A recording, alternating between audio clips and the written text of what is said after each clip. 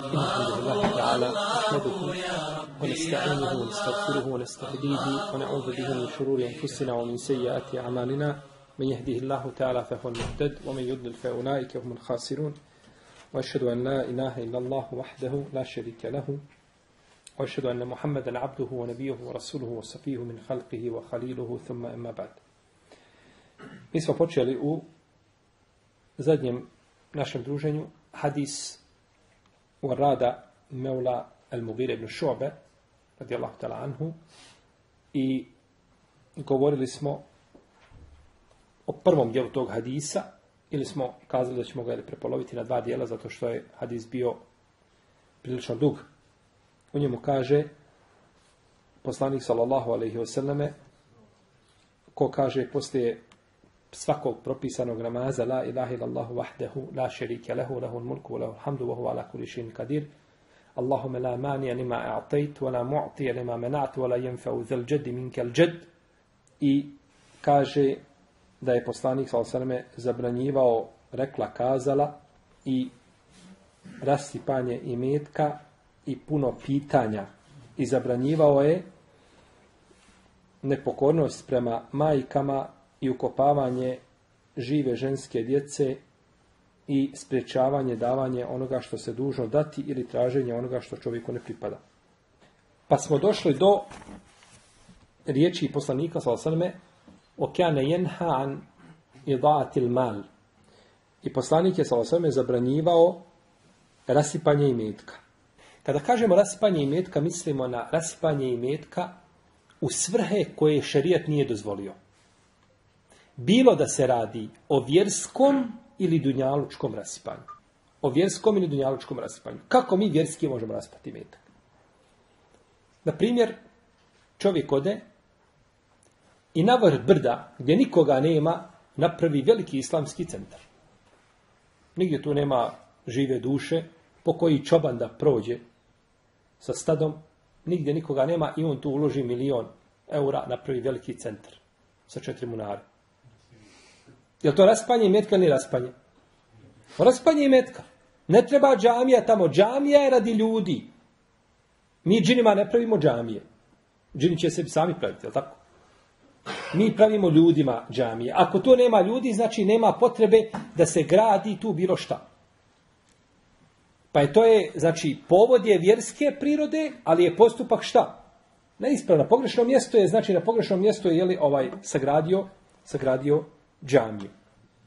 Ili da ga troši u dunjalučke, a dunjalučko trošenje, znači, razni su oblici i vidovi gdje čovjek može dunjalučki ali rasipati svoj imetak. Jer je uzvišen Allah te barak je od učinio imetak da bi čovjeku olakšao život.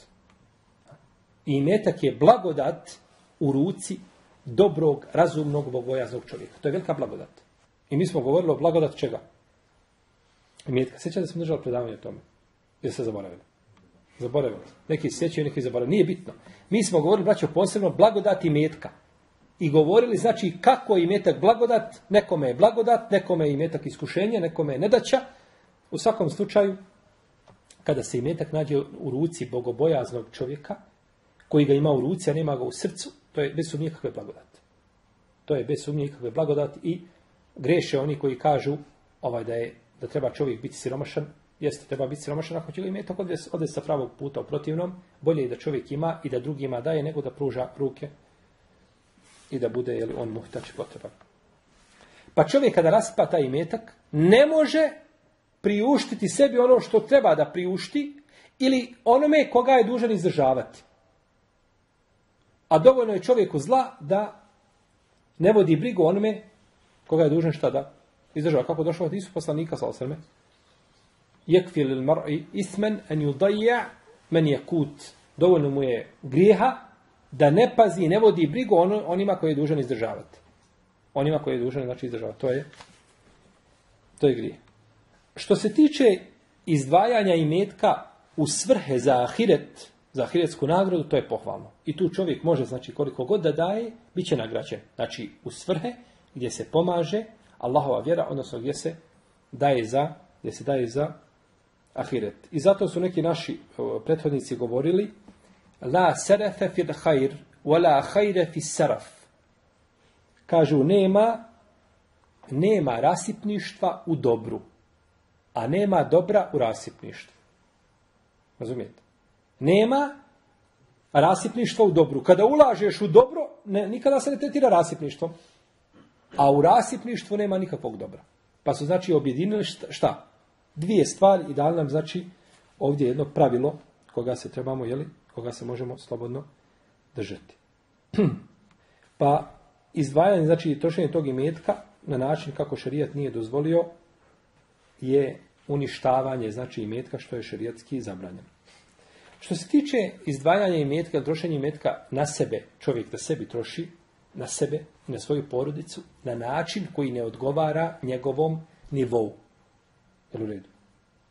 Ne odgovara to njegovom nivou, tu je među islamskim učenjacima razilaženje da li je to ovaj zabranjeno ili je muba dozvoljeno, pa ne znam, ovaj čovjek živi pod krovom od, od, od, od lima, starim, kuća svakog momenta treba da sruši na njega, na glavu, živio zekijata, a ne znam, ovaj, rasipa, znači, i metak u nekakve stvari koje njemu ne doliče i njemu ne trebaju. To je poznato kod Oleme da se smatra rasipništvom. Neki kažu da je to muba, osim ako rasipa u... Znači, kada bi čovjek otišao koji tako živi, kupio sebi, ne znam, telefon za 1000 eura. Najnovije tamo nešto izišlo čudo i on odmah trči da ga kupi. Je li telefon haram? Nije. Nije haram. I on nije kupio, on je kupio halal. Kažu, to mu je dozvoljeno šerijatski da to uradi. A neki kažu, to je njemu rasipništvo, jer njegovoj deređi ne odgovara, znači šta? Zato ovaj čovjek kada se ženi, dobro treba paziti na kakvim je standardom žena živjela. Jer si dužan nakon toga, ona traži od tebe šta? Da je paziš kao njen babo što je pazio. Pa ti moraš prije toga ispitati je li, ovaj, koliko je ona mjesečno imala džeparac, da vidiš možeš ti to podnijeti. Da ne bez leđa. Je tako? Radeći preko vremene sate da bi ženi ovaj omogućio život kojim je živjela kod svoga babe. Kadija Husein u svom dijelu uh, sadakat i tako je govori mama Gazalija smatraju da je to haram, da je to zabranjeno. U svakom slučaju, ovaj, među lemom je razilaženje po, tome, po tom pitanju. A, ulazi još u bespotrebno davanje imetka, odnosno trošenje imetka, ulazi i građenje bespotrebnih građevina.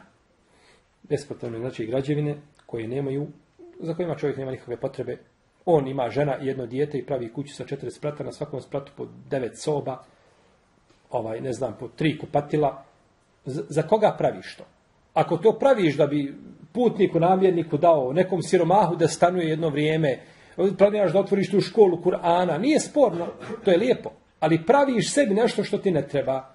Dalje, isto posuđe, recimo da bude zlatno, da čovjek uređuje zlatno posuđe, krovove, da se to vidi, znači da je to izraženo, WC pozlačeno, ekramekumullah, šolja u WC-u zlatna. Kakva je, kakva je od toga? Kome je tako? To je samo oholost. Ja sam tam da čovjek stavi žena da nakiti sva zlata na sebe od, od ovaj, kod, kod Arapa dole kada ima, kada ima svadba, pa žene dođu kada dođu na svadbu, mlada kada dođe na svadbu, one sve plešću ovako rukama, jeli, udaraju, a mlada sjedi ne može. To što je sve toliko napspano zlata da može dići ruke da udara. Toliko je od, od, od, znači od ramena do ovdje, to je sve, one manje pa veće, pa veće, to su znači ovaj, ja shvatam, to je nakit i to ljudi vole. A kakva je korist da bude tamo u, u, u Bejtul Halada, bude ovaj nešto od, od zlata? To je, to je ohlost. Pa je to bez ikakve sumnje, znači rasipanje, rasipanje ili A što se tiče dunjalučkih prohtjeva, nema smetnje, braćo, da sebi čovjek omogući jedan lijep život. Lagodan život, da uživa u blagodatima, ali ne treba znači da to dođe do stepena preterivanja, a neka olema kaže da je bolje ono što je poslanik sa osrme, što je uzvišen Allah odobro za poslanika sa osrme i, i, i druge ove poslanike, iako među poslanicima samima ima koji su bili bogati stalno, kao što su bili a, Suleman Ali i Davud, stalno su bili bogati. Imate koji su bili stalno siromašni, kao što je bio Isa Ali i njegov tečić, ko? Jahja. A imate poslanike, kao naš poslanik, koji su prošli i kroz siromaštvo i kroz, i kroz bogatstvo. Znači, bilo je, znači, a, svega. Uglavnom je poslanik, sa osaname uzvišen, ali odabro često da bi se, znači, prolazilo vremena, da, da nije imao šta jesti, da ponekad tri dana nikada se nije zastio, znači, pšeničnog, znači, hljeba, da bi jeo uzastopno i a, iako je uzvišeni Allah e, otvorio njemu jeli, riznice zemlje. I govorio je poslanik sa osaname, dovoljno je sinu Ademovom nekoliko zalogaja da ispravi kiču. I braćo čovjekov želudac je kao vreća. O plastična ova. Ona se rasteže. Želudac je tvoj, kažu tako, ne znam to tačno, otprilike kao šaka. Toliki je. A kad pogledaš šta si pojao ispred sebe da staviš, kaže to nikako ne može biti. Zato što si ga razvukao. On se razvuče, popuni, znači sve šupljine što imaju u aptomenu, to ti želudac popuni i onda samo što više jedeš, možeš uvijek više jesti ovaj. Pa je čovjeku kaže bolje nekoliko zalogaja da može ispraviti svoju kiču. Iako ne smeta da čovjek jede, braćo, ako želi da jede više, ne smeta da jede više, ali da ne bude, da bude znači ono trećina jedna i druga i treća, tako, trećina za hranu, za vodu i za, da može disati. To je dozvoljeno, ali da se prejeda, znači da nakon toga mora ići, jeli, ovaj, tražiti medicinsku pomoć, to je zabranjeno. Kod nekih pravnika je zabranjeno, kažu da je zabranjeno da čovjek daje cijeli svoj imetak da ga da kao sedaku.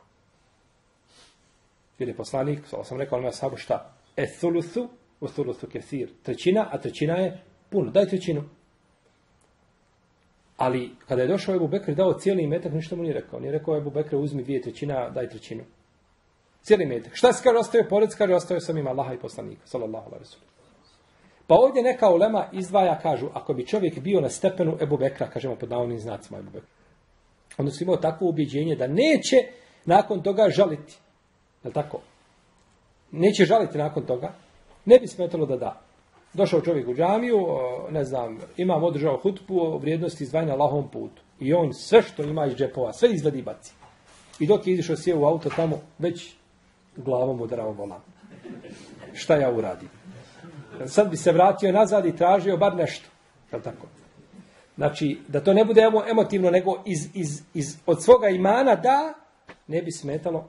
Kao što je Omer došao dao koliko? Pola imetka. A to je više od trećine, je tako? Pa njima nije i osudio poslanik. Pa postoje hadisi ovako i ovako. Pa kažu hadisi koji se odnose na trećinu, jesu trećina čovjeka koji se šta? Koji se ne bi mogao strpiti da, da ostane bez ičega. A ako čovjek ima toliko imana da da sve i očekuje da može zaraditi drugo i neće za tim žaliti i tako dalje, onda ne smeta da da ovaj, znači i cijeli svoj metak. U svakom slučaju tu je razilaženje među islamskim učenjacima i trećina je česta kod ovaj alhamdulillah u arapskom svijetu i to je pohvalna stvar među tim bogatašima. Velikim znači bogatašima da često ostavljaju ljudi trećinu. Trećinu ostavi fi sebi ili blah, a one dvije trećine dijele njegovi nasljednici. I od te jedne trećine znači koja ostane ponekad se dijeli po, po deseta godina ne može, ne može se podijeliti. Toliko ljudi ostaje znači i metka da, da razum ne može to pojmiti šta. Ima, imaju čitavi timovi koji dijele njegovi metak. Znači kako dijele, prihvataju. Onaj pravi tamo centar u Maleziji, kaže evo milion dolara od nas. Onaj pravi u Americi, evo kaže dva miliona od nas. Ovaj pravi tamo, evo od nas sto hiljada. I ne mogu godinama dijele i godinama i godinama i ne mogu podijeliti. Toliko je uzvišen Allah dao određenim ljudima i metak. Sigurno da je da je taj metak ovaj, u ruci takvog čovjeka koji je tako poručio, njemu, njemu blagodat. Iako, jeli, ovaj, na sudnjem danu će ući siromasi od muhađira u dženet prije bogataša na koliko? Na pola dana, na 500 godina, jer je dan na ahiretu hiljadu godina, na pola da 500 godina će ući. Pa je, je to dokaz da je bolje imati manje imetka? Vi što vodite na kud nemate pravo da javljate se u, znači, to je jasno što se tiče vas. Mi hoćemo da čujemo i drugu stranu. Ali su naši, ovaj, ovi nukuđani, oni su u pravu. Jer, braćo, čovjek će zaustavljen, on, on će 500 godina ući kasnije u džennet od koga? od siromašnog. Ali ne znači kad uđe u džennet da neće imati veći stepen od siromašnog. Siromašni je zaustavljen radi čega? O, bogati. Radi metka, treba položiti račun. Ne može tek tako, moraš, svaki se dinar mora za dvije. A siromašni nema zašto. Allah, Allahu dragi, uvijek je bilo, jeli, od dana do dana, od jutra do navečer, nikad ništa imao nisam. Jeste. I tako da je ovaj, znači ne znači da kad uđe u džennet da će siromašan imati šta veći E sad ti 500 godina što je prednost, 500 godina je puno, jest, ali u odnosu na ahiret i, i, i, i vječnost dženeta, onda i nije toliko puno, je li tako? Znači sve je to, ovaj, jeli, ima, znači, zbog, zbog čega su ljudi zaustavljeni, ali znači da će u dženetu znači, imati manji stepen, može imati samo veći, iako dužan da polaže račun za svoj imetak. Dalje, kaže poslanik, sallallahu sallam, i mrzio je puno pitanja. Mrzio ovaj, i pre, ovaj, prezirao je puno pitanja, a ovdje se misli na pitanja koja nisu dozvoljena šerijatski da se pitaju, odnosno koja nemaju osnove šerijatski da se pitaju. A ovdje sami hadis ili značenje hadisa, braćo, je islamski učenjaci imaju podijeljena mišljenja šta znači hadis. Mnogo pitanja. Jedni kažu da se ovdje odnosi na pitanja šerijatska, odnosno pitanja koja su naučne prirode. Pitanja koja su naučne prirode. Pa je poslanik sa prezirao da ispitiva čovjek. Jer je poslanik sa osvrame rekao u hadisu koga bježe Buharija i Muslim, najveći zločinac je čovjek koji pita nešto, ispitiva, pa zbog toga to bude zabranjeno muslimanima. To tako. On pita, pita, ispitiva o tome i onda dođe zabrana zbog toga. To je učinio zulum, to je naravno, nema više toga nakon ovaj, prestanka objave, ali čovjek ne treba ispitivati o nečemu o čemu nema potrebe znači da zna. Ne treba znači ispitivati i ovaj braćo pitanja su nekada bila drugačije prirode. Kod nas su danas pitanja ovaj samo da se pita. Ne kažem ko, ko, da ciljam ovdje skup, nego općenito govorimo. Samo da se pita. Ima Mahmed kaže, družio sam se za Beširom ibn Hušeimom četiri godine. Bešir ibn Hušeim Lavasiti. Poznati Alim. Družio sam se, kaže, sa njim četiri godine, samo sam ga dva pitanja pitao za četiri godine. Dva pitanja za četiri godine. A kod nas je danas, znači, moglo bi se sjetiti do sabaha, ispitivati, pitati, to je pogrešno. I najbolja su, braće, pitanja čovjeka koji kaže, čitao sam u toj i toj knjizi to, to i to, to i to i to, pa mi je nejasno, možeš mi pojasniti. To su najbolja pitanja. To je došlo kao produkt učenja.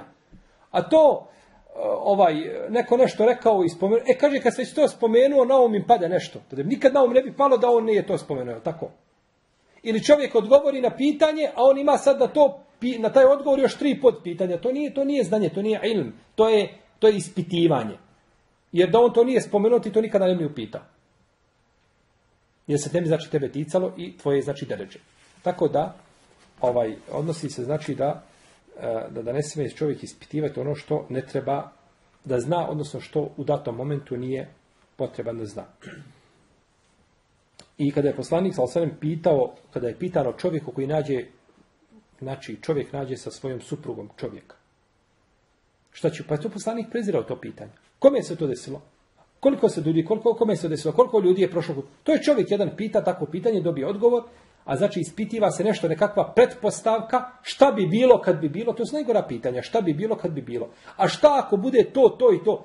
Ostavi to šta ako bude. Kad se desi, onda dođi, kad desilo se to i to, šta ćemo. A to šta ako bude, to šta ako bude, takvi, takvi ove mogućnosti imaš 30 postavi sve, pa ćemo sve razmatrati, sjediti i onda sve ono što smo razmatrali i štihadili i muku mučili, ovaj, znači, nemamo potrebe za takvim, jeli, takvim znanjem. I zato je poslanik, sa osvijem, kaže, nehani uglutat, zabranio je uglutat, a Ulema je protefsirala da su uglutat, da su to teške mesele koje je teško riješiti problemi, znači koji nije jednostavno riješiti.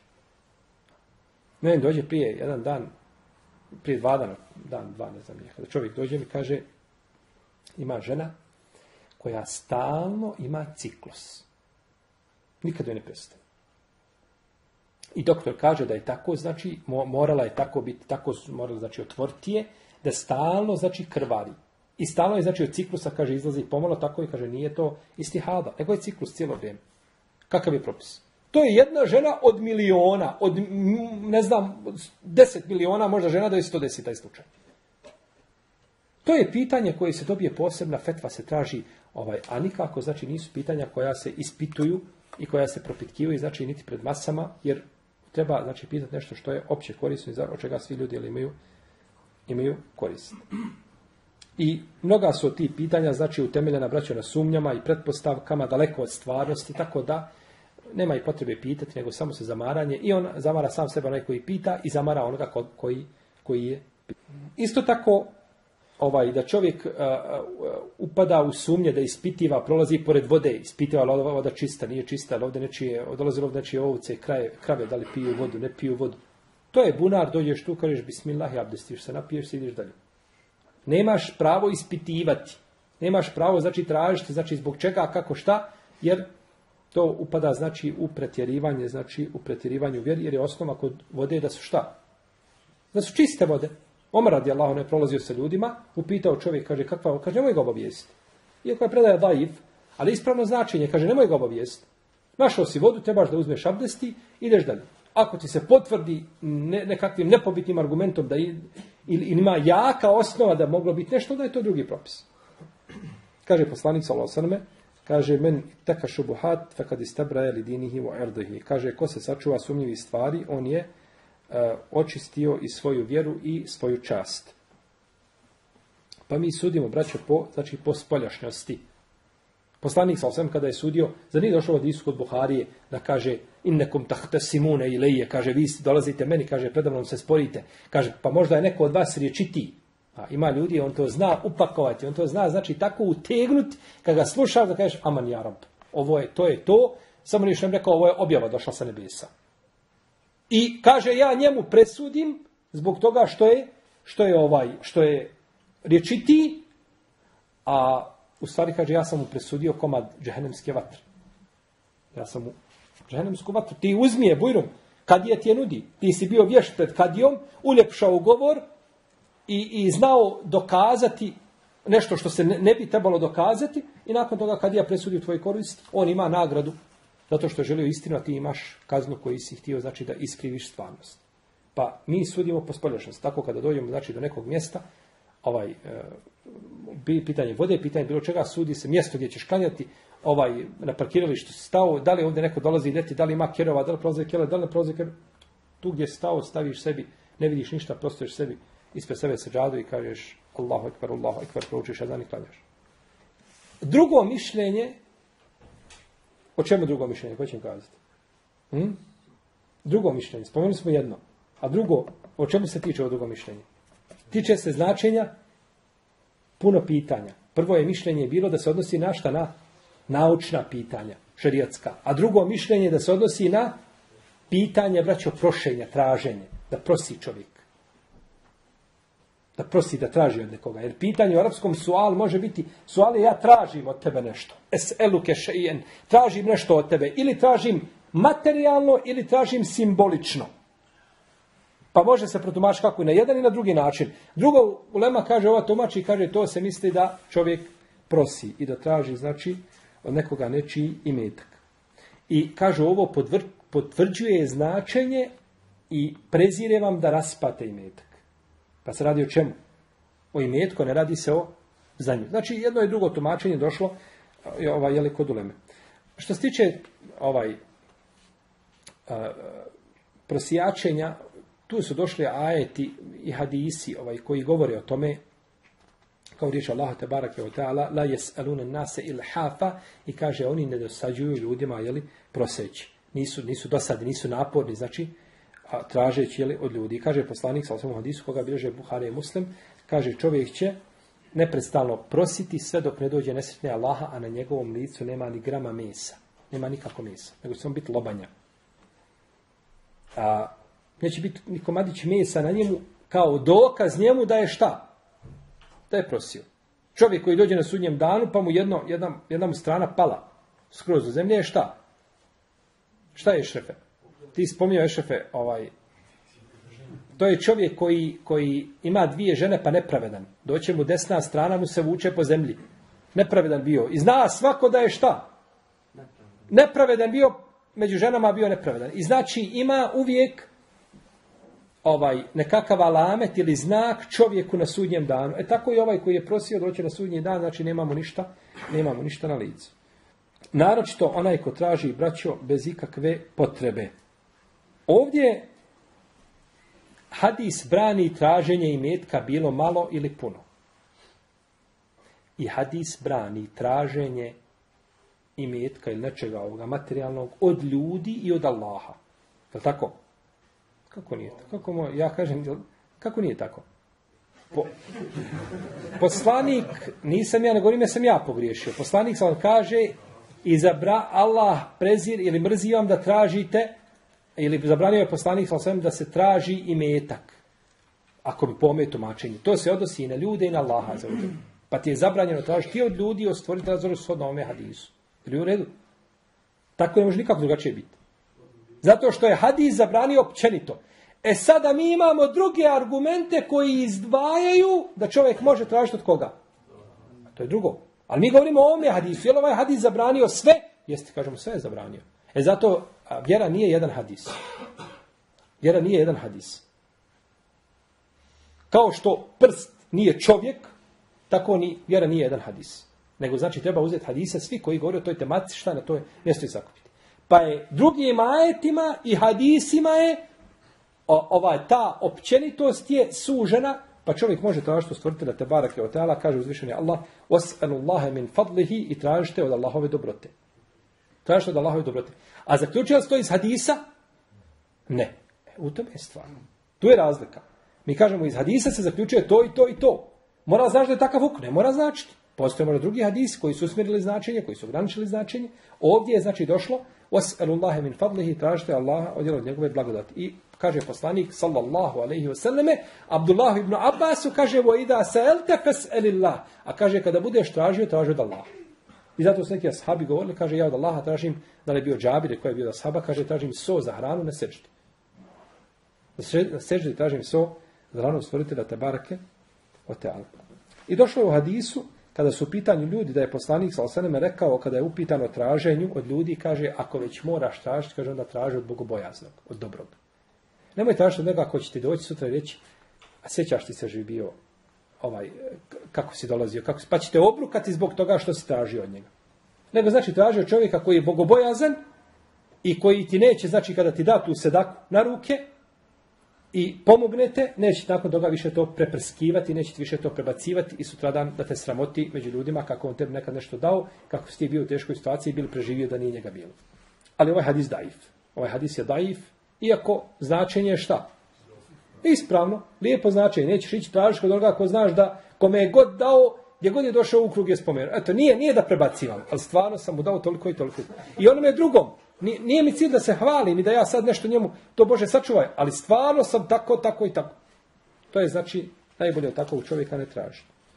Isto tako čovjek koji pokazuje, braćo, svojom spolje, s vanjštinom, ponašanjem kako nema. Uvijek tako se ponaša, ovaj, ne znam, ukrpite pantalone, uvijek dođe tako se, da, tako se, kao da nema nigdje ništa, a u stvari ima. To je dvoličnjaštvo. Znači, ako čovjek nema, govorit ćemo u traženju nečega, ali ne treba znači da se pretvara, jer su, vi znate, braći, čuli se za ljude ashabu sufe, koji se zove tako, je tako, u džamiji koji su bili, gosti poslanika, sa u njegovoj džamiji su bili. On je bio Buharere i drugi. I jedan je od njih umro i ostavio je dva dinara. Nađena su dva dinara u njegovoj ostavštini, ili što je ostavio, pa rekao poslanik, za osrme, kejetani. Kejetani. Sa njima će se, kaže, sa ta dva dinara će se pržiti njegovo tijelo. U džahennem. Zato što je šta? Dva dinara je 20 dirhema. To je, nije to puno para. Ali imao je to. A bio je sa ashabu sufa. Gdje su ljudi dolazili, davali im, znači da prežive od dana do dan, ponekad nemaju, dođu, pitaju poslanika, sallallahu sallam, traže, a nije on nema da im da. Pa je poslanik, sallallahu sallam, rekao, kaže, ki je tani ovaj hadis, kaže, imame neovi šeha Albani da je vjerodostojan. I jeste, bilježi ga Mahmed ibn Hibban i drugi. Pa čovjek znači da ima to, pretvara se pred ljudima, nema, nema, hajmo mu nešto sakupiti. Hajmo mu dati. Nema, nema, hajmo opet nešto vidjeti. I vidiš ga, turiš mu u ruku, ne znam, nešto zato što se tako pretvara da nema. A u stvari ima. Imaš ko, budi onakav kakav jesi. A nemoj, znači, a, o, preterivati ni u jednu ni u drugu krajnost. Pa je ova kazna došla, zašto? Zato što je pokazivao a, nešto svojom spoljašnjošću, a u unutrašnjosti je nešto ipak bilo. Dva dinara, braću, nije to ništa. Nije to neka, neki veliki metak. Ali zbog njih, pa šta mislite onda kada čovjek je li ovaj pretvara se da nema, a ima više od toga. Neka ulema kaže da je ova ovdje zabrana došla da se traži, da se traži od zekijata. Nije, kaže, općenito traženje sedake, ovako pomoći da se da, nego kaže to je traženje od zekijata, a ne pripada nijednoj od osam kategorija. Pa se to odnosi, odnosi na njih. Imam Neovi rekao da je kod sve uleme, kaže, jednoglasno nije ispravno čovjeku da traži, da mu je zabranjeno da traži ako, osim ako u nuždi. Ako je čovjek u nuždi, može tražiti. Što se tiče čovjeka koji može zarađivati, a traži, to je razilaženje. Iako je poslanik ali rekao, kaže, la zekijate li kuval kesp. Kaže, nema zekijata onome ko može zaraditi. Čovjek može zaraditi, ko odbrda odvaljen, i ima priliku da zaradi, i neće da zaradi, ne treba mu dati zekijat. Treba ga ostaviti tako kako je. Neće bio da radiš. Znači, uvijek ima ljudi, nude se, rade. Obraću sad dole kada je bio ova, ova nepogoda u Sarajevu. Po novinama sve ljudi razgriću snijeg. Skidaju snijeg sa krovova, ne, sve rade. Jeste, postali su nekakve dnevnice koje su veće nego ovdje u, na zapadu i, i oni one satnice. Ali, ali rade znači i trude se. A za razliku je čovjeka kada ga pozoveš da nešto radi, kaže ne mogu ja, to je teško za mene, a rade to ljudi koji su mnogo slabijeg fizičkog stanja od njega, takav ne zaslužuje znači zekijat jer neće da radi. A, dozvoljeno je čovjeku kažu da traži da traži od nekoga nešto ako imaju tri šarta. Prvo da nije uporan u tome, znači da ne dosađuje ljudima, da ne da time ne ponižava samoga sebe, a, jer ponekad čovjek kada traži po, ponizi samoga sebe u tom traženju i treća stvar da ne uznemirava onoga od koga traži. Dođe pa mu ne da mira. Ti si tražio i spomenuo i to je završeno.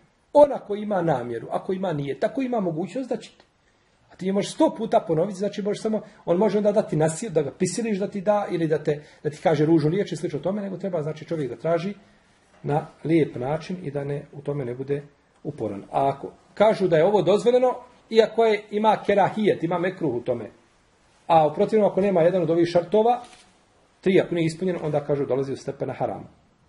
Uzvišen je Allah spominje ljude u Kur'anu koji kaže, kaže o fi emualihim hakun lisa ili wal mahrum, a u njihovim imecima ima pravo onome, za onoga koji traži onoga koji šta? Ne traži. Je li ovo je dozvoljeno tražiti? Nije, imaju ljudi koji traže, a oni imaju u svom imetku, znači, ovaj, nešto što daju i njima, i jednima i drugima. A što se tiče traženja, braćo, kada je čovjek u nuždi, kada mu je nužda, ovisi život njegov i tako dalje, i njegova vjera da bude dovedena u pitanje, onda neka olema kaže, kaže da mora tražiti. Dovedeno je u pitanje čovjekov život i šuti, neće da govori, to nije ispravno, to je nužda. Ako mu je to nužda dozvoljeno da jede ono što je šarijat zabranio, onda mu dozvoljeno šta je da traži halal od svoga šta? Brata muslimana. Pa manje je, znači, manje je zlo i manje je grije da, da traži halal od brata muslimana da mu pomogne, nego da jede svinsko meso ili, jeli, ili lešinu i slično tome, a to mu je u nuždi, znači, obaveza da sačuva svoj, da sačuva svoj život. Neka olema kaže da je ovdje uh, uh, ciljano da se puno traži, da se puno pita, kaže o vijestima ljudi, šta rade, a, znači o onome što te ne zanima. Ali ispravo, ovo je slabo tumačenje. Zato što je to došlo u značenju kile vokal, rekla kazala. I to smo govorili, rekla kazala smo govorili što u prošlom predavanju. Pa rekla kazala, ima to značenje, ispitiva šta je ome, šta je ome, pa da ne bi znači nos, a, usmjeravali značenja znači na istu tačku, da lepeza značenja bude što šira, tada kažemo ne, ispravno je znači jedno od ova dva tumačenja, Allah najbolje zna da bi više moglo i da bi prije moglo biti tumačenje ono prvo koje smo spomenuli, šerijatsko ispitivanje, da bi to moglo biti ovaj bliže nego, nego uh, ovo drugo, odnosno ili traženje imetka. Neki kažu da se uh, ovim cilja, to je četvrto i zadnje tumačenje, da čovjek ispitiva drugoga. One čemu ga ispitivaš, o njegovoj privatnosti. Pa ga dovedeš u nezgodnu situaciju. Ako ti kaže, otkrio ti je svoju tajnu, da tako, svoju privatnost, intimu koju ne želi da ti znaš. Ako ti prešuti, neće da ti odgovori, onda nema edeba, nema etike sa, sa sabesjednikom, je li tako? Ili ćeš ga prisiliti da ti slaže. Pa je onda učinio grije. Pa kažu, to se odnosi na toga čovjeka. Znači ima i, je li to, i to tumačenje. I zabranio je nepokornost majkama. Nepokornost je, braćo, sve što uznemirava roditelja. Sve što uznemirava roditelja, što je šerijatski pogrdno. Jer imate babu koga uznemirava sin kada klanja. On kada vidi sina da klanja, on ima 130 otkucaja u minuti. Znači, on se sam nakostreši, jer on je zakleti titin pionir. Znači, on, se nije, on nikada se nije tite odrekao i kada vidi svoga sina da klanja, znači njemu je sva Saudijska Arabija i svi muđahedini pred očima. Vidio on sina da klanja. Znači, to je veliko, zloj veliki belaj. To uznemirava babu. Ali to je nepokornost roditeljima? Nije nepokornost roditeljima. To nije nepokornost roditeljima. To je pokornost Allahu. Te barake On je to naredio. Ali nepokornost znači da biva u nečemu što šarijetski nemaš pravo. U tome čovjek ne smije znači biti nepokoran roditelj. I u nama o tome braću pisala posebne knjige. Pokornost roditeljima kao imam Tortuši i drugi pisali su knjige, a pokornost znači roditelju i tu tematiku tretirali zasebno. Kaže imam Ibn Atije u svome tefsiru da čovjek nema pravo da pazi na hatar roditelja ako je u pitanju griješenje prema Allahu, našto u veliki grijesi kada su u pitanju. A kada su u pitanju mubah stvari i stvari koje su pohvalne, tada se mora, i koje su sunet, mora se pokoriti roditelju. Kaže babo, sinu, nećeš praviti kuću u Zenici, nego ima da je praviš kod nas u, ne znam, u Žepču ili u Sarajevu ili u Bihaću, nije bitno gdje. To je muba stvar gdje će živjeti, jel tako? Trebaš se pokoriti roditelju. Babo te, ovaj, babo kaže idemo raditi nešto, kaže ja babo moram duha klanjati sine, kaže moramo požuriti, kiša će, pokisnuće sjeno. Ne, pokori se babi, ostavi duha namaz, idi radi sa babom. To su stvari koje nisu obavezne širijetski. A tebi je pokornost babi obavezna. Pa je, znači, treba se čovjek pokoriti. I ovdje se često vraća pitanje, postavlja od strane naše omladine, koji su ulazeći u vjeru željni znanja. Pa kažu, možemo li mi ići studirati bez babo i mama ne daju. Jel tako, babo i mama dok im spomeneš, znači od Istambula pa južnije, ovaj, njima mrak na oči padne. Kućeš dole. Kakav ćeš mi se vratiti? I ne daju da se ide dole. E sada kaže, smijem li ja otići dole da, da učim? Kažemo mu, ne smiješ. Ne smiješ ići stjecati nauku ako babo i mama ne. Ali kaže, babo mi je takav, babo ništa. Ne, babo ostani. Čovjek je, braćo, krenuo u džihad. I kaže poslaniku, sal svema, Allah posljeće, evo me, kaže, došao sam, idem u džihad, a kaže, ostavio sam, kaže, roditelje da plaču. Kaže, idi nazad, kaže, razveseli ih kao što si rasplakao. Neš u džihad. A džihad je bio fard kifaje, nije bio fardaj, nije bio na svaku osobu. Fard kifaje, to je znači fard koji je šta? kolektivnog karaktera, ako ga uradi dovoljan broj ljudi, spada sa ostali. Jer ti babo kaže, nećeš ići na dženazu nekome. Babo neće na dženazu. Danas nema dženaza. Jer dženaza tebe nije šta? Uvijek će biti muslimana, tako koji će klanjati. Obavit će 100, 200, 300 ljudi, će 50 obaviti. Ne moraju drugi doći da klanjaju. A ti se pokori svome babi. I koliko braće ljudi griješe u tim pitanjima zato što ne poznaju propise. Ja odo, ja odo, babo, ja sam sebi rezervisao kartu za Medinu, za Rijad, za ne znam, za Kairu. I ja odo, babo, ti kada bi se prevrnuo u grobu. Ja odo. To je pogrešno. To je zabranjeno. Imam Ishak ibn Rahavoj, kako se spominje u fetvama, odnosno u pitanjima Ishaka i mama Ahmeda, je govorio, kaže, da je zabranjeno čovjeku da iziđe, a, da uči znanje osim uz dozvolu roditelja. Osim, kaže, ako bude u nedaćama koje ne može liječiti nego učenjem. Pojasnit ćemo ovo. A kaže, za na file ne treba, za na file ne treba, za na file, kaže, treba dozvola roditelja. Za na file treba dozvola roditelja. A to stjecanje na znanja je na fila. I kaže, imam El Hatib El Bagdadi, što se tiče, kaže, znanja koga mora poznavati svaki čovjek, kaže, otiće i stjecat će ga, a ako izlazi bez dozvole roditelja u protivnom, Kaže, to je zabranjeno. isto imam Zehebi navodi neku ulemu, imam Zehebi je samom njemu se je to desilo da, da mu je majka sprečavala da izje da uči nauku. I El Basri, isto tako, Nesađ, kada je izišao, ni izišao je da, htio da se stječe nauku, pa mu je majka zabranila, pa je izišao posle kad je ona umrla. Nakon nje je otišao. I to spominje isto, imam Zahebi u svome djelu Tezkiratul Hufaz od Mohameda ibn Bešara, poznato kao Bundar. Veliki jedan muhadis, majka mu nije dala, te kad je umrla, onda on otišao stec nauku. Pa kažemo, nemoj ići stec nauku. Neko kaže, pa dobro, kako? Ima li babo? Nema babo pravo da brani. Ali ako ti zabrani, moraš mu se pokoriti. Pod uslovom. Da u zemlji gdje boraviš imaš mogućnost da naučiš kako ćeš biti musliman, da naučiš svoju akidu i da naučiš osnovne stvari fika. Namaz, poziv, ono što je vađivi koji su ti, možeš to naučiti svojoj zemlji i babo ti brani da iziđeš u zemlju gdje možeš naučiti, ne smiješ putovati, moraš se pokoriti babu. Jedino kada bi došlo, ne znam, ja znam ovaj akidu, ali ne, nema me ko poučiti ispravnom vjerovanju. Kako da vjerujem Allah? Nema me ko poučiti kako da ispravno klanjam. Kako se ispravno klanja?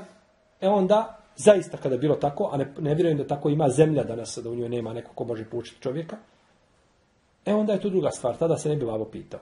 Tada je učenje tvoje ulazi pod hadis, talebul ilmi feridatun ala kulli muslim, stjecanje nauke, farz svakom šta? Muslimanu. Ovdje nauke, o kojoj se nauci misle? O temeljima. O temeljima. Pa ne mora svako braće od vas znati pitanje mesele fika razvoda braka, ne znam, i finese vezane za posti, za, za, za, ne mora to znati. To mora znati jedna skupina koja će ljudima izdati fetve. A vama je dovoljno da znate, da biste se sačuvali grijeha, da ne biste bili griješni, da znate temelje svoje vjere. Kako obožavati Allaha, kako ga vjerovati, ono što mi, što mi radimo i što učimo. Pitanje vezano za fik, pitanje vezano za akidu. A u protivnom, ako odeš nakon toga, to je na fila. Ako imaš mogućnost, hajde bereke, to je tvoja stvar. Ali nisi dužan šarijetski. Pogledaj kako je to šarijet Sovano postavio sve na vage, znači tačno je izvagao, znači koliko kome šta pripada, nikoga nije opteretio mimo mogućnost, kako je dao pravo roditeljima, kako je dao pravo čovjeku, imaš pravo da budeš musliman, da naučiš vjeru, možda da odeš ti da učiš dole negdje ovaj, da bi te nekakvi krugovi zahvatili da bi se vratio gori nego što se otišao. Znate, braćo, da ima ljudi koji su otišli sa vjerom da Bog da nikada nije otišao dole, da nikada nije zavirio arapski svijet i nikad nije harfa jednog arapskog naučio. To bi bilo bolje. Jer je otišao, skrenuo sa pravog puta da vodi ljude sa, na dalalet. Pa ti ne znaš u čemu je tebi dobro. A ti se pokor roditelju, a pokornost roditelju ne može donijeti nego hejri, nego dobro. Pa je neispravno čovjeku, znači da ide i da putuje i da, a da ne govorimo onda o putovanjima, hoće da ide, ne znam, negdje sa ženom da se provodi na izlete nekakve i tako dalje, babo brani ili ima nekakve obaveza, želi ga. Pokornost roditelju je obaveza i to se mora znači ispoštovati u svakom pogledu. Jel tamo gdje nije pokornost roditelju te barak je Kaže se da je Hasan al-Basri rekao, ako majka zabrani sinu da izlazi na jaciju, po noći bojeći se za njega, neće je, kaže, poslušati. Kako je Hasan mogao reći ovo? Zar nije preče pokoriti se majici nego na jaciju u džematu? Možda je Hasan al-Basri smatrao namaz u džematu vađiba. Pa tako? Pa kaže, to je vađiba. Majka nema pravo da ti brani šta? Kada babo rekao, sine, neš postiti Ramazan. Babo ti kaže, sine, sutra ponedak, nemoj sine postiti, sutra moramo ići raditi. Kaže, babo, ja postim svaki ponedak i četvrtak. Ne, kaže, sutra nemoj postiti, molim te. Pusti to što postiš ponedak četvrtak. Sutra ujutro ustaneš babom, popiješ kavu, doručkuješ i krampuna na leđa i onda sa, ideš sa babom raditi. Pokori se roditelji. Jer uzvišen je Allah te barak tala traži od nas pokornost roditelja je vađib, a post ponedjeljkom je sunnet. Kako možeš dati prednost sunnetu nad vađibom? A on ne traži od tebe nepokornost. Je nepokornost ne posti ponedjeljak? Nije nepokornost. Ostavio si sunnet. Nisi griješan zbog toga. Ako hoćeš, Allah ti je dao mogućnost, te barak je tala dao ti je priliku da zaradiš dobra djela. I brojnica hadisi navode u tom kontekstu je da je nepokornost roditeljima, da je to jedan od velikih, od velikih od teških grijeha. Ovdje se spominju braćo majke, nepokornost majkama, zato što najčešće nepokornost biva majkama. Zato majci. Pa, može se nepokornost učiniti, može slaba, slabaša, ne može se, jel, ne može se suprostaviti pod našo koje dijete jače i tako dalje. A babo je jeli, uvijek malo žešći, tvrđi. Ne može sa babom baš tako, jel tako. Pa onda majka ispašta. Prema majci biva ta nepokornost. Znači. I to se našto dešava, znači, od shodno uh, vjeri čovjeka koliko je jeli, izgubi desio se skoro slučaj u Saudijskoj Arabiji da je jedan momak bio stalno dolazio kod majke uzmeo penziju, pare uzmaju. Dođe svako večer, dođe, on dođe napušen tamo na, na, na drugiran, šta je već radio. I dođe jedno večer majci, kaže, kada je ušao u sobu, ona izvedi pare, evo, kaže, kaže, neće ja pare. Ja, kaže, hoću i počne namoral sa majkom. I fala Allahu, ovaj, uhap se ga i ubiju ga. Izvrše krisas. Evo i sada hoće ovoga novinara, što je vrijeđao poslanika, sa osam, izručen je iz Malezije, izručen je nazad i sada svi liju krokodilske suze, ja kako je to, svi, ovaj, svi su tako nježni razine. Ne, samo izvršiti Allahov propis, ništa drugo, kogod daje. U Saudijskoj Arabiji po njihovom zakonu, a to je šerijatski zakon, ko vrijeđa poslanika, sa osam, taman se pokajo, to ti ne možeš koristiti. Ko vrijeđa Allaha da se pokaje, može se primiti njegova teoba. Ko vrijeđa poslanika, sa osreme, i ako se pokaje, ne primam se teoba. Tako je šehol samim temije govorio u svojoj knjizi Salmon Meslul. Poslanika sam se kodirao njegovu čast. Ti živio, neš da budeš muslim, neš da praktikuješ, što je tvoja stvar? Strešćeš gospodara za odgovor. Ali da ti pišeš o poslaniku i umanjuješ njegovu vrijednost, e to ne može biti nikako i pokazat će se koliko znači pritisci sa strane imaju ovaj utjecaja, ali ulema znači definitivno izišla i traže znači da, da, da on bude kažnjen zbog toga, a kazna mu je samo jedne vrste. Kažemo ovdje su braćo spomenute majke, zato što su majke najčešće se njima vrši nepokornost. A znači li to da, da babi je dozvoljeno nepokoran biti? Nikao, nego spomenute majke zbog toga što se puno či... Kada je spomenut, kada je poslanik sam rekao, kaže, Lan Allahu namisat wal mutanammisat. Allah je prokleo žene koje čupaju obrve drugima i one koje im se čupaju obrve. Jedan je muftija izišao danas i protiv to kaže, to je za žena, nije za muškarce. Znači muškarac može doći i stanjiti obrve, iščupati i nacrtati sebe one obrve, one gusarske, lijepo, i to je njemu mubah, ali je žene su proklete koje to čine. Ma nije zbog toga živ bio, nego to je došlo min babi taglib, tako se zove u fikhu, min babi taglib, a to je zato što to najviše i najčešće žene čine, pa je zbog toga spomenute su šta? Žene u protivnom, to je zabranjeno muškarcima. To je mijenjanje Allahovog stvorenja. Allah te stvorio takvog i ti to mijenjaš, tamo nešto crtaš i ovaj, tako isto je ovdje kada su u pitanju majke i zabrana, jeli, nepokornosti. Kaže uzvišenje Allah te barak je o teala وَوَسَيْنَ الْإِنسَانَ بِوَالِدَيْهِ حَمَلَتْهُ أُمُّهُ وَهْنَ عَلَى وَهْنْ وَفِسَالُهُ فِي عَمَيْنِ Kaže i mi smo naredili čovjeku ili oporučili mu da dobročinstvo čini svojim roditeljima. Kaže majka ga je nosila iz slabosti u slabost i dojila ga je u toku dvije godine. Pazite ovo, braću. Ovdje uzvišenje Allah kaže i naredili smo čovjeku dobročinstvo prema roditeljima, pa je tu poistovjetio koga? Majku i, i oca. I onda kaže, majka ga nosi, majka ga nosi, ovaj, iz slabosti u slabosti do iga dvije godine. Pa je spomenuo dvije odlike majke koje nema babu. A sjetite se sada hadisa u kome kaže, poslanik sa osam kod Buharije, kaže, ko je najpreći za dobročinstvo? Kaže šta? Ko je najpreći za dobročinstvo? Majka. Ko je naj... Majka. Potom? Babo. Pa tri majci, a jedna babi. Hajmo sad vrat na ajet. U ajetu su spomenuti majka i otac. Ovo sajnjali insane bi vali da ih sanas. I mi smo obavezali a, čovjeka da čini dobročinstvo svojim roditeljima. Koliko imamo? Jedan, jedan. Pa ga je majka nosila iz slabosti u slabost, dva, jedan, i dojela ga, tri, jedan.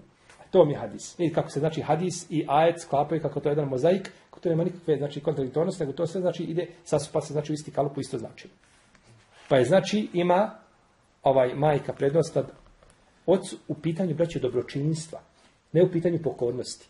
Babo nešto naredi, mama naredi, babino se sluša. Ako je jedno i drugo odgovara šerijetu i može proći, onda je babina starija.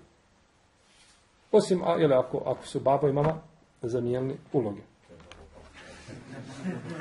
To je, znači to se kaže ako je babo papučar, ili tako? I zabranio je da se ukopavaju živa ženska djeca. Živa ženska djeca, ali tako, mrtvo se svako mora ukopati u zemlju. Živa ženska djeca da se ukopavaju i ovaj, to je ono što su radili u džahilijetu i uzvišen je Allah, te barak to spominje u Kur'anu, wa udetu su ilet bi eji zembin kutilet. I kada živa ženska djevojčica bude upitana zbog kakvog grijeha je ukopana. Kada bude upitana sudnjem danu, da to će neko morati odgovarati, jer to je nevino znači dijete i morat će znači biti zbog toga pita. I oni su imali, razli, imali su načine kada je u pitanju ovaj, kada bi se rodila ženska, žensko dijete, on bi koje je htio da ostavi, vodio bi ga sa sobom da čuva stoku, hodala bi sa njim. A kada je htio da je ubije, onda je sačka da bude dođe do šeste godine. Kada dođe u šeste godine, kaže majici, kaže, hajde, kaže, danas lijepo spremi, kaže, u redu, idem, kaže, da posjetim rodbinu. A prije toga zločinac otišao i u pustinji iskopao veliki bunar, rupu veliku iskopao. I dovede je tu iznad bunara koji je bio prilično, prilično uzak, ali dubok bio. I kaže, kaže, vidi šta ima ovdje. I ona kad se nadviri, on je, znači, turije u bunar i onda je poklopi zemlju. I tako je ubije. Znači, to, to je, to je takav zločin. Pogledajte koliko čovjek svoju može prirodu. Da vam neko kaže, uzmite pseto koje te ujelo, nekakve veliko zlo nanijelo i tako ga ubi, čovjek rekao, to ne mogu raditi životinje. Kako bi, možda uraditi, ne mogu tuđem djetetu, kako bi mogao vlastito djete tako ubiti? Dijete od najvećeg neprijatelja ne mogao tako ubiti. Ali to je, znači, džahilijet kad uđe u čovjeka kada nema vjere, onda, znači, sve što uradi može proći, jer jednostavno nema nikakvih ni pravila ni principa u svome životu. Pa su tako, znači, ovaj, ubijali svoju djecu živu i znači kopavali, a bio i drugi način, žena ode u pustinju, kako kaže Ibn Abbas, ovo spominje Ibn Đerir u svome tefsiru, a, dođe sjedne žena pod, pod, pod drvo i prije toga iskopala rupu. Omenju rupu i čeka, tu se porađa pod drvetom. Ako je muško, u naravak sva sretna kući. A ako je žensko, samo iz materice u rupu i prekrivuje. I ubije odmah. Znači, bilo je, bilo, imali su oni različite metode, znači, ubijanja ovaj, ženske djece u jeli, paganstvu. I pogledajte onda kako je došao islam i izbavio ljude iz tmina na svjetlo. I dao ženi mjesto kako nikad nije mogla maštati. I onda dođe ovaj taj šljam i on vrijeđa poslanika sa osaneme i onda da ne bude, e ne, bit ćeš kažnjen živio. Moraš biti kažnjen. Biće na ahiretu sigurno. A ovdje na njalku ako izbjegneš kaznu, to je to je druga stvar. To je pitanje jeli, gdje se čovjek možda može spasti ovim ili onim putem, ali na ahiret ne može sigurno. Osim ako se poka iskreno stvoriti razvođen, pa to je druga stvar, on je milostiv i ono prašta svojim rabovima. Oni su se bojali, braćo, da bojali se nemorala. Pazite, kad su kopavali žensku djecu, oni se bojali da ta djeca ne prave nemoral. Da ne bi bila bludničarka. Imali su pri sebi, to je bio pogrešan postupak, bez sumjekve, ali imali su pri sebi nešto što danas nema veliki broj muslimana. Dođe mu kćerka ujutru u sitne sate, sva se ljulja, jedva kapiju pogodi i uđe u kući babu, sjedi, gleda emisiju kao da je ne vidi. Ona prođe ovdje, uvuče se tamo u kuću svoju i sjedne, on kao da je ne vidi, niti smije progovoriti. Gdje je bila, šta je radila, kud je hodala, a niko o tome a pagani su zbog toga ubijali žensku djecu. I oni izgovorili, kažu, meleki su Allahove kćerke, to su Allahova djeca, ženska, pa kaže, priključite tu djecu Allahovoj djeci. Ta'ala Allah amma je kulune uluven kebira. Allah je čisto od onoga što govori. A, da, jeli, pa kažu neka budu sa Allahovom ženskom djecom, jeli meleki. I govorili su neki braćo od njih, od ovih pagana, kažu, mi smo, kaže, našu živu žensku djecu ubijali, a kaže, vratimo se kući, kjera hranimo. Ima kerova par kod kuće, nahrani kerove, a ode ubije svoje žensko dijete. Eto, koliko znači priroda se čovjeka može promijeniti da vlastito dijete ne da ga ne voliš i da ga nekom daš, nego da ga na najgori način ubiješ, a nakon toga gajiš najprezreniju jeli, životinu.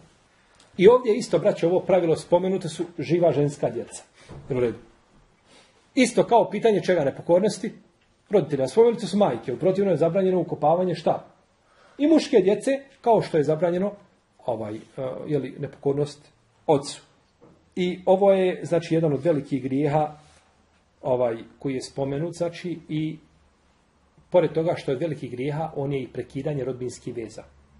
Jer ima li veća rodbinska veza između koga? Između djeteta i roditelja. To je najveća rodbina, nema veće rodbinske veze. To je, to je ubuvat, očinstvo. Najveća veza, ona je prekinuta tim. Pa je to znači zločin i sa te druge, znači, strane. I ome hadisu je dokaz da je zabranjeno ubijeti osobu koja je nevina i koja nikoga ubila nije. I ovdje se kaže da li je da je zabranjeno čovjeku da, a, kako je došlo u hadisu, jeli ovdje, što smo spominjali u menul vahat, da je zabranjeno čovjeku i da sprečava, da, da, da sprečava davanje onoga što se treba da, davati ili da traži ono što mu ne pripada. Znači jedno i drugo, jer čovjek može biti, znači imati jedno drugo značenje. Jer čovjek ponekad ne daje ono što je dužan dati, a, a ovaj traži ono što mu ne pripada. Pa je znači o to isto tako a, zabranjena stvar. Ovo bilo nešto o hadisu al-Mugire ibn Šobe, koji je zaista veliki hadis sa velikim značenjima, a mi smo, braćo, nastavili da ga skratimo ovaj, ono što je za nas bitno. A uvijek imamo materije još ovoliko i još toliko da pričamo, znači što bi vas možda izmorilo te nekakve finese, mi spomenemo znači ono što je najbitnije za nas da znamo i da, da, da možemo znači zapamtiti, da možemo ovaj da možemo jeli, e, pa ćemo inša Allah u narednom druženju nastaviti sa hadisom Sumeja, a to je treći hadis u poglavlju kom. Dova, zikr poslije namaza. Zikr poslije namaza, jest. Tome ćemo govoriti nekada u martu. Inša Allah, početka marta, pošto nećemo do tada imati ništa od aktivnosti. Allah ta'ala alamu sallallahu ala bila Muhammed, ala alihi wa sahbihi ajma'in. Ako ima pitanja, braću vezani za ovo čemu smo govorili, mimo toga, bujru. Bujru.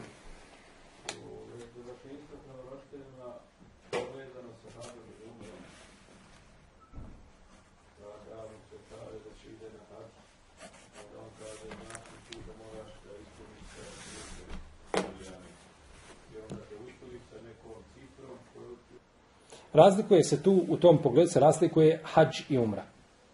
Hađ i umra se znači razlikuju zato što je, zato što je hađ obaveza, a oko umre postoji razilaženje. Znači oko obaveznosti umre postoji razilaženje. Ako se prihvati mišljenje da je umra obavezna, onda bi a, onda bi propis bio isti ako vidi da uslovi babo, dijete, iako babo, ako ima, znači, imetak i može živjeti, ne treba tražiti od dijete, od djeta imetak. Babo ima penziju, nema potrebe da zadire u imetak svoga djeteta. Tebi Allah dao da živiš i nemaš potrebe. A to da guliš svoje dijete, da ga uzmeš kao roba, to je zabranjeno. Tebi dozvoljeno da uzmeš od svoga sina, od djeta ako nemaš, ako si potreban. Ako imaš, nemaš šta, nemaš šta uzimati od njega. Ovaj, Pa gleda se, znači, ako je pitanje hađa, onda se roditeljima ne obezbijedi ono što im treba, a nakon toga kažeš, babu, to su moje aktivnosti, više nemaš obaveza prema babi, možeš ići na hađ. On ti nema to pravo braniti. Ti dok ispuniš uvjete, znači, pitanje umre, znači, ako je čovjek obavio umru, pa išao na hađ, pa obavio umru, pa ima, znači, obavljenu umru, onda mu sigurno, definitivno više umra nije vađib, kada bi čak kazao da je prva umra vađib, jer Nama se razilazi, razilazi u etimul hađe u umrate lillah i vi radi Allaha hađi umru šta? Upotpunite oni koji kažu vađib, kažu spomenuta u jednom kontekstu i to je poznato kod, mislim, kod Hanbelija u Hanbelijskoj pravnoj školi. Mnogi drugi učinjaci kažu da je ona sunnet, da je umra sunnet. Uglavnom, ko je obavio hađ i obavi temetu, nije više dužan da obavlja umru. Iako babo kaže, ne, nećeš ići na umru, tako da neka se pokori, neka ne ide.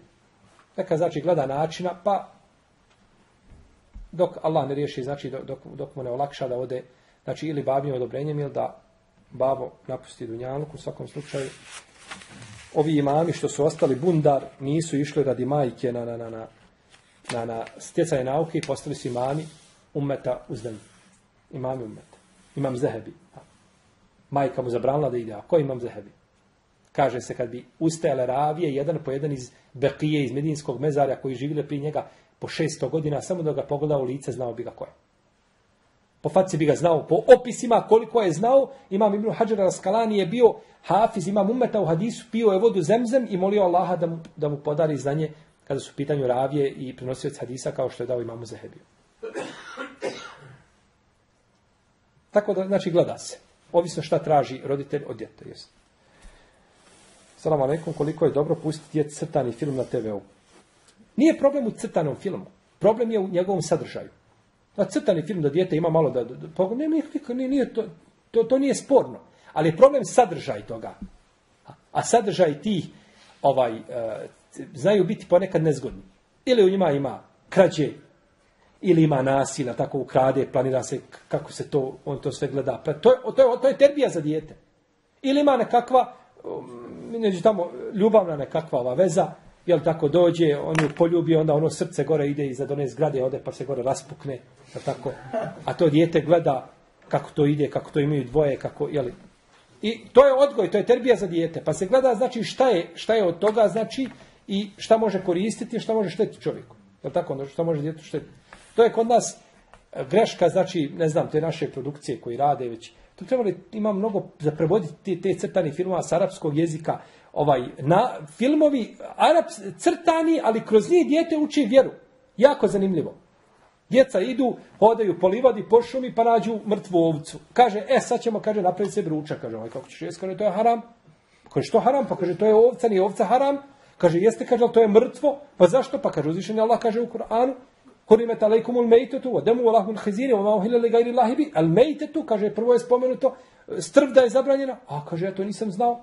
A sve je zanimljivo tako zagledati samo, ali oni tamo trče mačka i miša, ne znam, to mi Džerija prevode, a, a ne, ne, ne, znači neće da, znači da neko radi na, na tom polju, to je za djecu korisno. Znači, nema, nije problem u samom crtanom filmu, nego je problem u njegovom sadržaju. Pa ako ima crtani film, nekakva natjecanja, sportski nešto i tako dalje, nema smetnje da, da djeca u tome gledaju, jer dijete, dijete, dijete hoće svoj hak i svoje pravo. Ako mu ga ti ne dadneš na lijep način, on će ga uzeti na pogrešan način. Israf. Pa israf, mi smo večeras spominjali, znači šta bi, šta bi bilo israf? Israf bi bio da čovjek uzima a, nešto, znači, prvo kazali, znači za šerijatske stvari, odnosno vjerske, dinske stvari je pohvalno. I tu nema rasipništva, koliko čovjek da, s tim, a, kada čovjek daje, braćo, za vjerske potrebe, mora paziti da ne uskrati pravo dunjalučko nekome. Jel u redu? Ti daješ džamija se negdje pravi. Djeca ti trebaju krenuti u školu. I ti sve za džamiju, za džamiju, kaže, babo, mi trebamo knjige, Boga mi kaže, čekajte, nema. To nije dozvoljeno. Bez što je zdao za džamiju. Ne možeš uskrati pravo nekome dunjalučko zato što je zdao šta? A u protivnom davati za ahiret, a možeš podmiriti to dunjalučko pravo, nema smetnja nikakve. E, rasipništvo bi bilo, znači, u ome pogledu u ahiretskoj stvari. U dunjalučkoj stvari. Znači, da čovjek e, uzima nešto što mu ne treba i da pretjeruje u nečemu za čim nikakve potrebe nema, niti je to njegov nivo. Čovjek zarađuje 1100 eura. I da mu nije dječjeg doplatka i oni tamo nekakvi oni, oni dodataka, ne bi mogao nikako spojiti kraj s krajem. I kupi se auto od 40 ili 50 hiljada eura. Kažemo, živi bio, pa to nije tvoj nivo. To nije tvoj nivo života. Ili ode kupi sebi jaknu za 400 eura. Pa to nije tvoj nivo života. Ti kupiš auto, ti kupiš sebi auto, kupiš sebi jaknu negdje na, na, na, na flomarku, tako, polovnu. Općeš nećeš sebi novu jaknu kupovati takvim primanjima. I onda čovjek time, kada to kupi sebi, čini štetu sebi, jer treba to vratiti, i porodic koju izdržava. Pa, jer nije, ne, ne možemo mi kazati, neko kaže, ja bi se kupio auto toliko i toliko teško je da neko kaže, to za tebe raspništvo ili nije. Ali ti sam po sebi znaš je to raspništvo ili nije. Tako, po svome stanju, po svome halu. Kao što znaš sam, da li možeš klanjati stojeći, da, da li imaš takve bolove koje možeš izdržati pa da klanjaš stojeći, ili ne možeš, tako isto znači pitanje rasipništva. Čovjek ne treba znači ulaziti tamo što ne priliči njegovom stepenu, znači ovaj ni života ni i nema potrebe za tim stvarima. Kupio se određenu stvar, ne znam, u kući, nekako posuđe, ima posuđe koje možeš kupiti, lijepo ga koristi, imaš nekakvo ekstra stupo posuđe koje imaju samo najviši sloj, znači ljudi i, i takva se jedna garnitura proda u sedmici dana jedna i ti sa takvim primanja odeš i kupuješ se tako posuđe. To je neispravno. I nema se tu ulazi u rasipništvo. Jer ti, znači, nemaš potrebe, možeš se zadovoljiti nečim drugim, a ima puno drugih stvari koje su preče i po pitanju tvoga dunjalka i tvoje vjere koje se trebaš priuštiti. Pa je pitanje, znači, rasipništva vezano da čovjek procjeni, znači, na osnovu svoje bogobojaznosti stanja, da li je određena stvar rasipništvo za njega ili nije. Jel u redu? A rasipništvo, braćo, biva uvijek veće shodno stanju muslimana. Što je stanje muslimana teže i to rasipništvo biva šta? Suženije. Lakše dojde do rasipništva. Jer čovjek kupuje određene stvari koje nisu, a uvijek ima znači negdje gdje može. Ne, ne znači to sebi čovjek sve uskrati, nije to rečeno. Jer uvijek je bilo sirotinje. Ali isto tako znači treba gledati kakvu ima korist ili kakvu potrebu ima za određenu stvar. Jeste. Dobro? Ja sam za sebe dobio, sad, sad na umru. Jel, jel, jel, jel mogu ja na, na njih da ili moram jihati ovaj za njih? Ne, oni su ako tebi, on, ako su te oba dva roditelja, obavezali te hađem, ti obavi hađ za jedno i za drugo, a umru obavi za sebe, a za njih kada budeš išao, obavi za njih i umru i hađ. Te to obaviš za njih, a za sebe obaviš sada, kada ideš na umru, obaviš za sebe umru, to ti je najpriče svojom porodicom, a nakon toga, znači, obaviš za roditelje ovaj hađ, jeste temetua, to je naj, najpotpunije, obavio znači jedno i drugo. Mislim da tako, to ti je bolje nego da sada činiš za, za umru za jednog roditelja, pa da ih razdvajaš, pa onda kad ideš na hađ činiš umru za sebe, a za njih, iako ti je dozvoljeno, ti sad možeš ići za roditelje. Za majku, na primjer, na umru. Ona je preča, za majku prvo treba obaviti hađ, zato što ona preča za dobročinstvo od babe.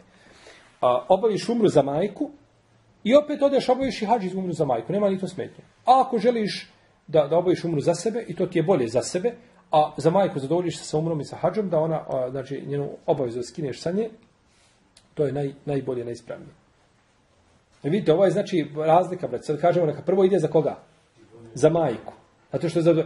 Ali da su majko i baba živi i majka kaže, sine, ove godine ide za mene na hađ. Babo kaže, ne, ne, ne, ne, nikako. Fate za mene.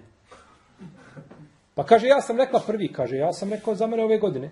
Ne može se pokoriti majci, se pokore kome. Jer ovo je pokornost, braće.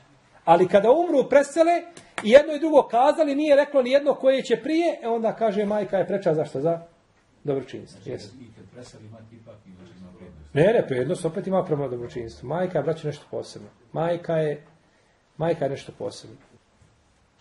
Sinoć sam vam pričao sa nekim mojim tamo i došlo vreme, kaže, sad će, kaže, nakupili su svi, sad će, kaže, neki, ovaj, neki Ali tamo pričat, na mislim, priča, neki Ali, prolicatelj neki.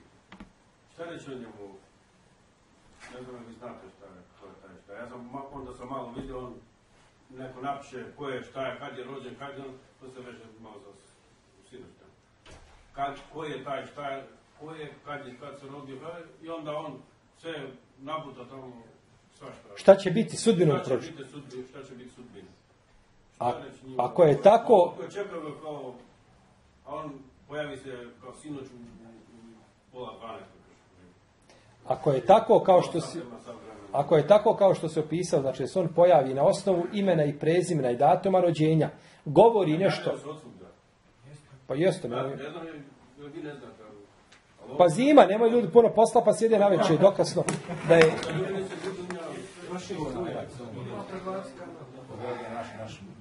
naš, narod, znači, braćo, naš narod samo dođi, predstavi se kao onako turabi, onome onako pakovanju, dođi, samo predstavi da ti nešto znaš, džini šeitani, ti, ti nešto prorišeš sudbinu, ti ne...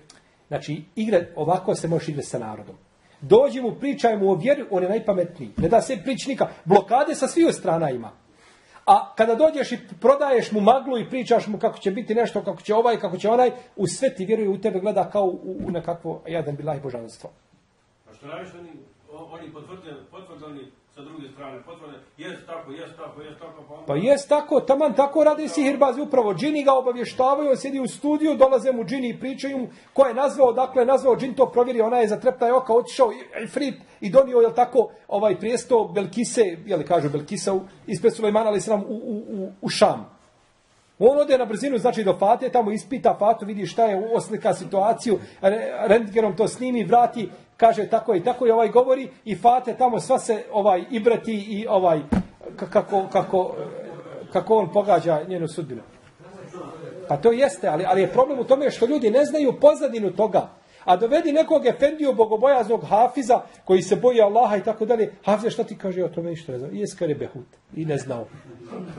Hafiz ne zna, a ovaj zna. I sad ćeš meni reći kako je Hafiz bolji od... To je, to je neznanje, to je džehl koji ljudi imaju pri sebi. A da zna, znači, pozadinu odakle on to uzima i kako dolazi do tih informacija, ne bi tako, ne bi tako razmišljao.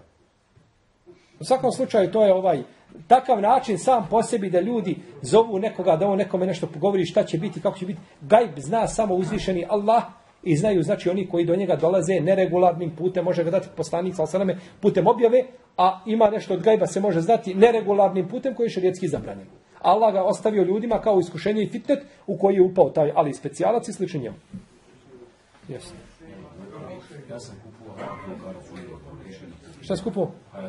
To je svoj To je, braćo, ali morate znati, ovo, ovo, vam je, ovo vam je komercijalno.